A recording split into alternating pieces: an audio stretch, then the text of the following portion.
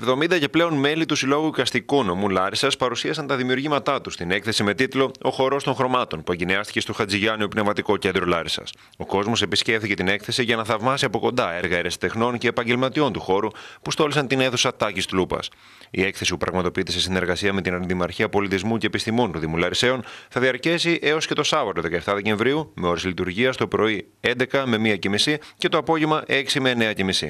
Είναι πολύ σημαντικό να αγκαλιάσουμε όλους τους καλλιτέχνες του νομού μας και να κάνουμε ωραίες εκθέσεις σαν τη σημερινή, δήλωσε ο πρόεδρος του Συλλόγου Οικαστικού Νομού Λάρισα, Γιάννης Γεωργιάδης. Είναι πολύ σημαντικό το να αγκαλιάσουμε όλους τους καλλιτέχνες του νομού μας και να κάνουμε τέτοιες ωραίες εκθέσεις όπως βλέπετε εδώ. Μεγάλες, ε, να δούμε το στίγμα του κάθε καλλιτέχνη, να δούμε τη δουλειά τους, τα έργα τους και οτιδήποτε άλλο έχει σχέση με το συνέστημα και με τη χαρά. Κάθε σύλλογος πρέπει να προσφέρει χαρά στα μέλη του. Και νομίζω ένας σύλλογος που προσφέρει χαρά στα, στα μέλη του είναι επιτυχημένος. Ο αντιδήμαρχος Πολιοδομία του Δήμου Λαρισαίων, Νίκος Καλτσάς και μέλος του Συλλόγου Γαστικών, συμμετείχε στην εκδήλωση με το έργο του Ο Δέντρος. Σήμερα συμμετέχουμε ένα έργο ζωγραφικής που ο τίτλος του είναι Ο Δέντρος. Όχι το δέντρο, ο δέντρος. Καθότι ο δέντρος, ο δρύς δηλαδή, τις ρίζες του δεν τις απλώνει πλαγίως για να πέσει, αλλά καθέτος και εντός της γης, άρα και δεν πέφτει με κανέναν αέρα.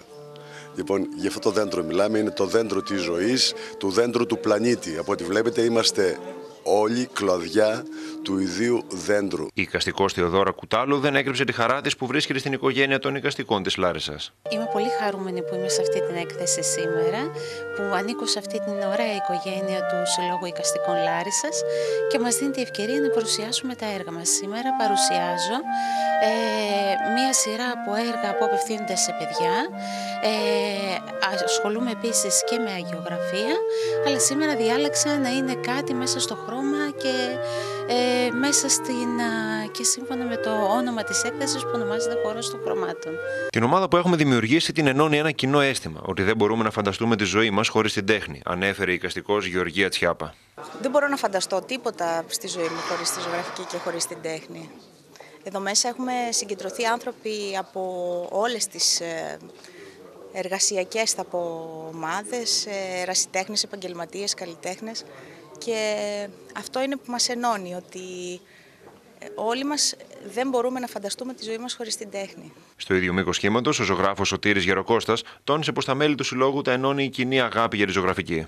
Είναι μια εκδήλωση από πολλούς αγαπημένους καλλιτέχνες, συναδέλφους, φίλους που μας ενώνει η κοινή αγάπη αλλά και κοινή, το κοινό άγχος πολλές φορές ε, γιατί ούτως άλλως η ζωγραφική είναι αποτέλεσμα, αν θέλεις, μια ψυχοθεραπεία εσωτερικής και μια αναζήτησης. Τις συμβουλές τους σε ένα νέο που θέλει να ασχοληθεί με την τέχνη έδωσε ο οικαστικό Χρήστος Ρέντας. Αυτό που θα έλεγα σε ένα νέο που θέλει να ασχοληθεί με την τέχνη, αν το έχει, αν το αρέσει, ε, να ξέρει ότι η τέχνη θα τον κάνει ευτυχισμένο.